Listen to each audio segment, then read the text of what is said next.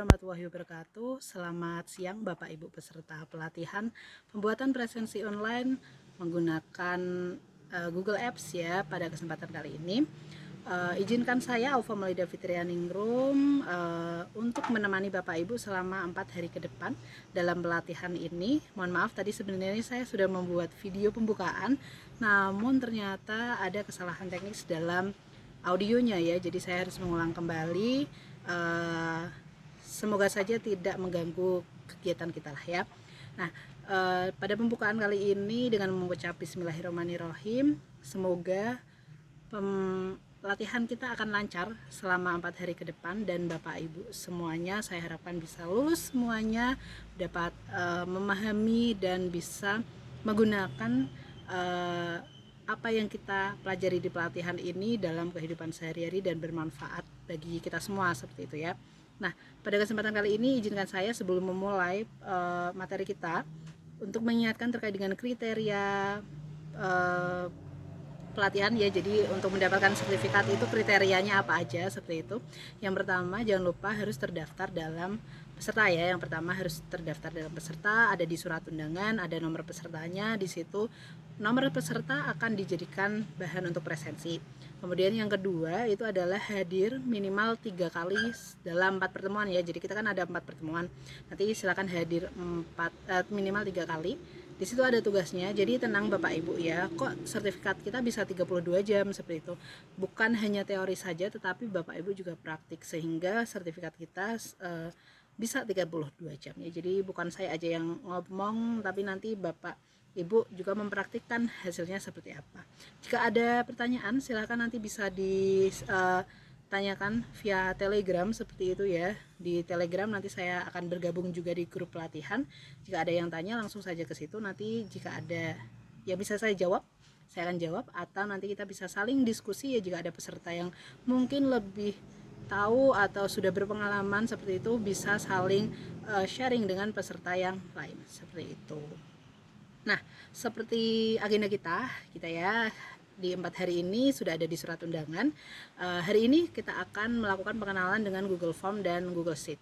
Mungkin Bapak Ibu udah banyak yang memakai Google Form dan Google Sheet ya minimal mengisi lah ya. Uh, atau mungkin sudah membuat ya. Jadi kita akan menggunakannya. Kenapa kok kita pakai ini ya? Karena ya salah satunya adalah gratis gitu ya. Semua orang bisa memakai tidak hanya bapak ibu guru biasanya kalau guru kan untuk membuat kuis atau latihan soal atau ulangan seperti itu. Tetapi untuk presensi ini ya tidak hanya untuk bapak ibu guru tetapi untuk yang bekerja di kantor ingin menggunakannya sebagai presensi kantoran itu juga bisa ya. Jadi silahkan memanfaatkan uh, apps dari Google ini dimanfaatkan seluas-luasnya seperti itu. Baik kita akan langsung aja ke materi kita ya Google Form itu apa, Google Sheet itu apa, manfaatnya seperti apa, langsung aja. Baik Bapak Ibu, mari kita langsung saja berkenalan dengan Google Form dan Google Sheets. Oke, okay. ah uh, untuk sebelum itu ya, karena kita judulnya adalah pelatihan pembuatan presensi otomatis menggunakan Google Apps, maka kita kenalan dulu dengan Google Apps ya. Google Apps ini adalah aplikasi Google ya, jadi Google yang mengembangkan aplikasi software atau perangkat lunak ya. Biasanya berbasis web yang dibuat oleh Google seperti itu. Uh, banyak sekali aplikasinya kegunaannya ya lebih untuk memudahkan uh, pekerjaan kita di kehidupan sehari-hari ya. Ya kalau dimudahkan ya alhamdulillah. Kalau enggak ya ya udah ya gitu ya. Kalau saya sih merasa sangat termudahkan oleh Google ini ya. Contoh paling gampangnya adalah uh, Google Calendar. Tapi banyak ya appsnya. Contohnya di sini ada uh, Drive Slide Calendar Classroom Hangout uh, Sheet Gmail Form Meet Doc ya. Ini hanya sepersekian ya contoh dari Google Apps sebenarnya banyak banget fiturnya. Ada Jamboard kemudian yang lain sebagainya. Itu ada di kalau mau ada di titik 9 di sampingnya foto profil kita saat kita masuk ke Google ya. Itu. Nanti mungkin bisa saya lihatkan sekilas. Tapi itu aja Google Apps.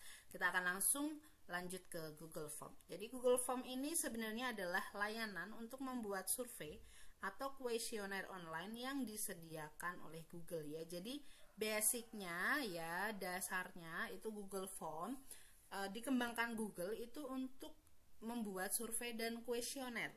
Tetapi seiring perkembangan zaman, ternyata Google Form ini tidak hanya bisa digunakan untuk survei dan kuesioner, tapi punya fungsi yang lain ya. Contohnya apa? Contohnya ini bisa untuk membuat kuis, mengumpulkan lamaran pekerjaan, mengumpulkan biodata, kemudian pendaftaran acara ya Bapak Ibu kan e, mendaftar acara ini memakai Google Form juga ya.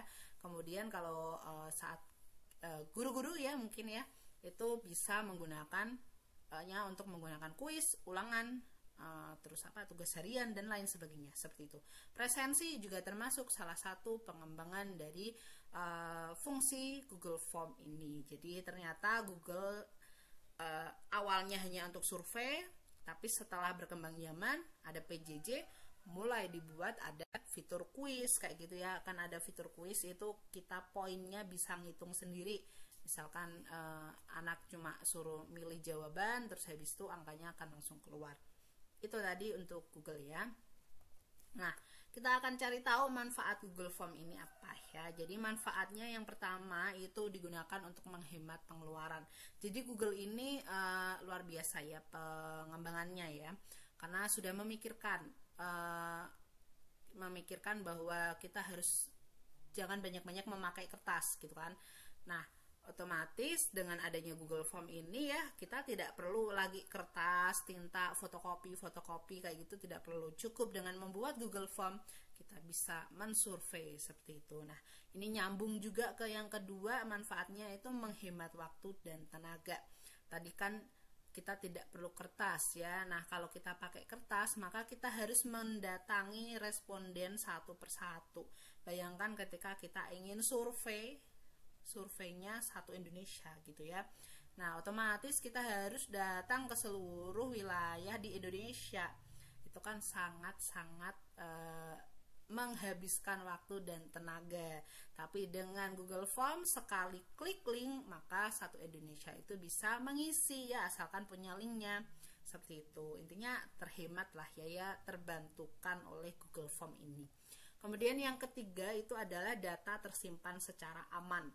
Tenang Bapak Ibu ya, jadi data kita akan selamanya tersimpan di Google Drive selama kita tidak menghapusnya ya. Kalau kita nggak ngapus ya nggak akan hilang. Tapi kalau kita hapus ya hilang ya sama aja ya. Jadi intinya adalah bisa disimpan selamanya di situ gitu. Oke, lanjut ya kita ke kelebihan Google Form. Jadi uh, kalau tadi manfaatnya sebenarnya manfaat itu kan juga salah satunya menjadi kelebihan Google Form ya, tapi apa sih kelebihan Google Form dibandingkan dengan fitur aplikasi lain seperti itu ya? Yang pertama gratis ya. Dulu mungkin kalau survei online, survei online kayak gitu kita harus membayar untuk membuat formnya. Tapi Google ini sangat baik hati ya memberikan fitur gratis, kita bisa membuat form semau kita sebanyak terserah yang penting Google Drive-nya cukup gitu ya. Gitu. Oke, yang kedua mudah digunakan ya. Tapi mudah digunakan ini syaratnya ya kita harus bisa menggunakan Google Form ya. Caranya dengan belajar. Kalau kita tidak pernah belajar memakai Google Form ya terasa susah seperti itu. Tapi ketika kita sudah menggunakan satu dua kali ya fiturnya gitu-gitu doang sih. Jadi lebih mudah seperti itu ya. Kemudian yang ketiga itu terintegrasi dengan Google Sheet. Nah, ini salah satu yang enak ya karena ketika kita ngisi form terus habis itu bisa langsung kita bawa ke sheet ya. Jadi uh, kita melihatnya lebih gampang. Mungkin kalau untuk analis atau uh, untuk yang membutuhkan data itu sangat lebih dimudahkan gitu. Yang keempat hasilnya real time atau otomatis terupdate. Jadi misalkan orang di mungkin saya ini di Semarang kemudian ada orang misalkan dari Padang mengisi pukul 15.15 15, ya otomatis masuk ke saya 15.15. 15. Jadi sesuai waktu yang uh, ada seperti itu ya. Ya kalau Wita sama Wit ya beda dikit ya satu jam dua jam gitu kan. Itu yang penting hasilnya real time ya langsung otomatis terupdate. Tidak perlu di refresh refresh. Yang kelima adanya summary ya. Jadi summary itu adalah ringkasan. Ringkasan ini menurut saya Google itu udah bagus banget. Kenapa? Karena di situ sudah ada kayak analisis uh, soal ya misalkan kita membuat soal terus habis itu kita lihat di situ ada chartnya, ada grafiknya, ada bentuk misalkan lingkaran ya misalkan dari 50% siswa itu mengisi A, 60 40% mengisi B dan lain sebagainya. Jadi sudah terlihat ada chart atau grafiknya. Atau misalkan oh yang nilainya di atas rata-rata udah kelihatan tuh. Misalkan ada 5 tambah 3 tambah 4 kayak gitu. Jadi udah ada grafik-grafiknya. Kita bisa melihat dengan mudah.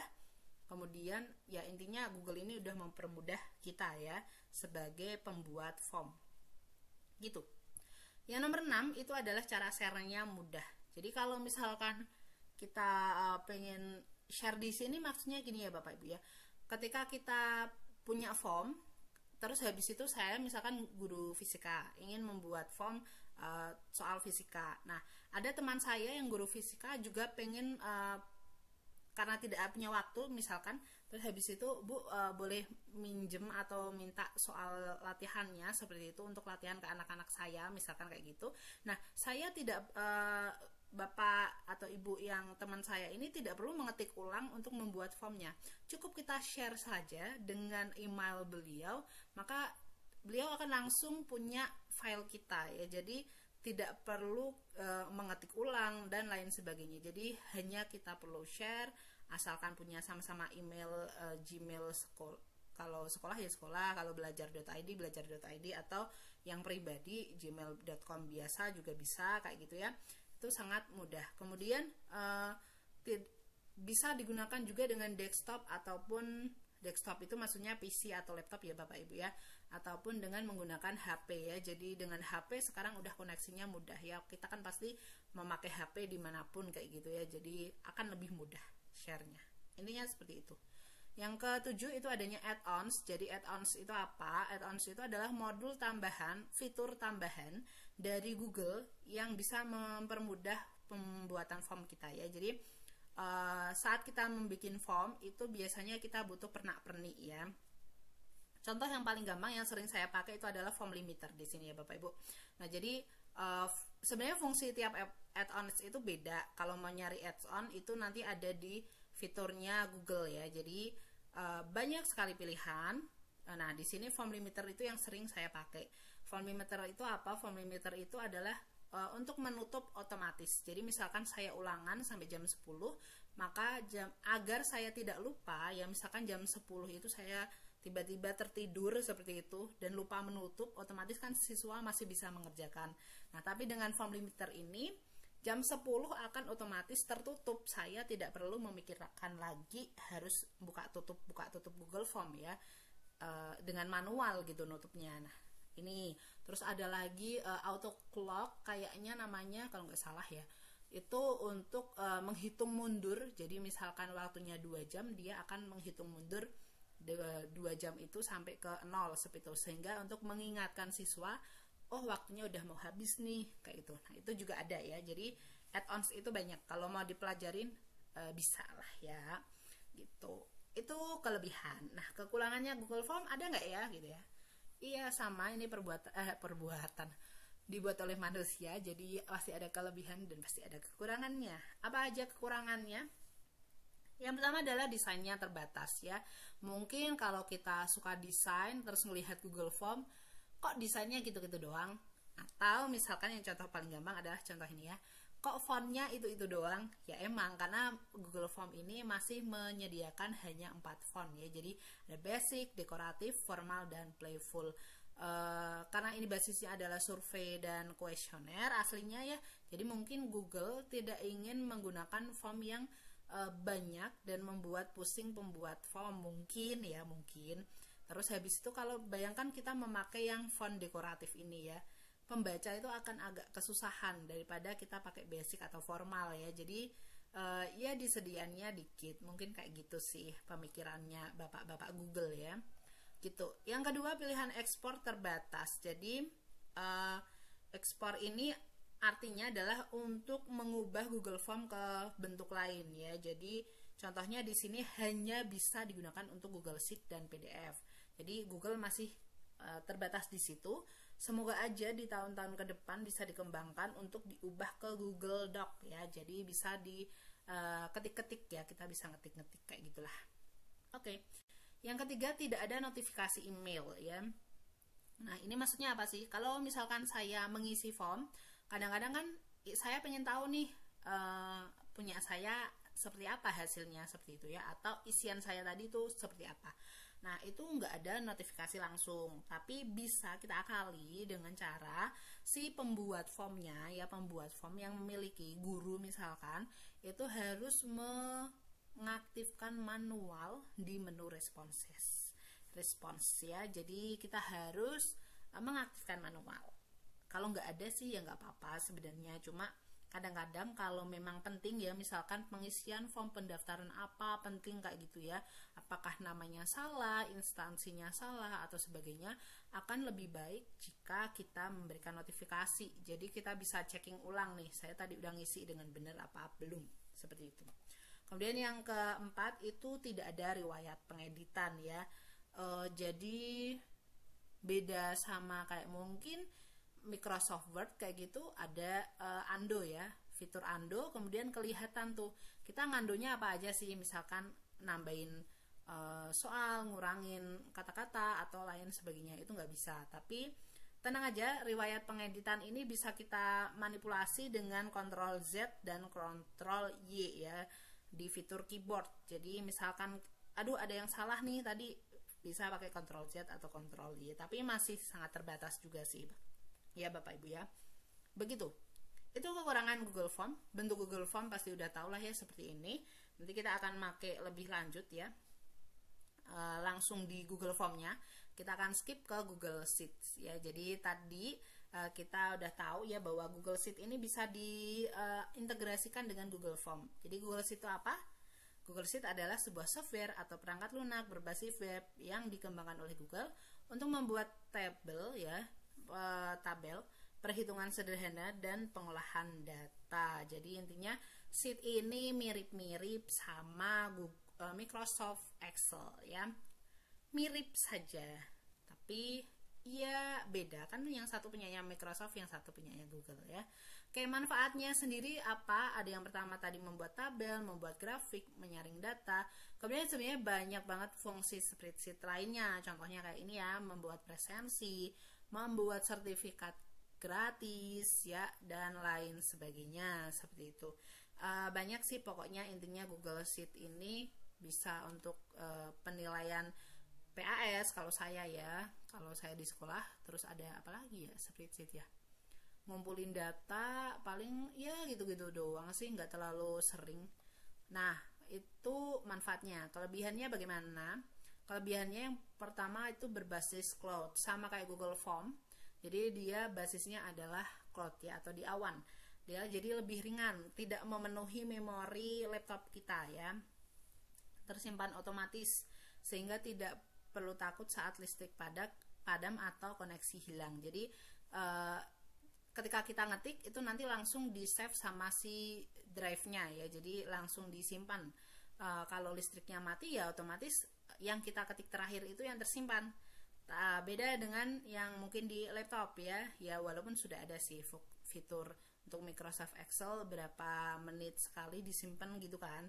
Misalkan dua menit atau satu menit sekali disimpan kayak gitu ada automatic tapi kalau kita nggak setting itu kan bahaya banget ya. Kita udah ngetik panjang-panjang tiba-tiba laptop kita mati. Ya sudah ya semuanya menghilang. Kalau misalkan kita pakai Microsoft tapi tidak di otomatis manualnya kita uh, atur seperti itu ya. Tapi kalau yang Google Sheet ini tenang tidak akan hilang. Kemudian fleksibel ya bisa digunakan di desktop atau laptop ataupun uh, smartphone ya. Bisa pakai iOS, bisa pakai uh, Android ya. Jadi ini fleksibel. Kemudian ringan, tidak memenuhi in, memori internal seperti tadi saya bilang ya. Tidak akan tersimpan di laptop. Jadi uh, enaknya juga misalkan laptop kita ketinggalan datanya udah ada di cloud kita ya udah ada di Google Drive kita ya kita bisa pakai misalkan laptop di mana ya teman kita sekolah atau lain sebagainya ketika kita butuh. Jadi tidak perlu uh, satu device kita bawa tenteng-tenteng seperti itu ya kemudian gratis jelas ya. Ini termasuk fitur gratis untuk Google ya. Nah kekurangannya sendiri itu apa? Yang pertama itu kurangnya fitur profesional. Walaupun basicnya itu hampir sama kayak Excel ya kalau dilihat itu ya ya hampir sama gitu.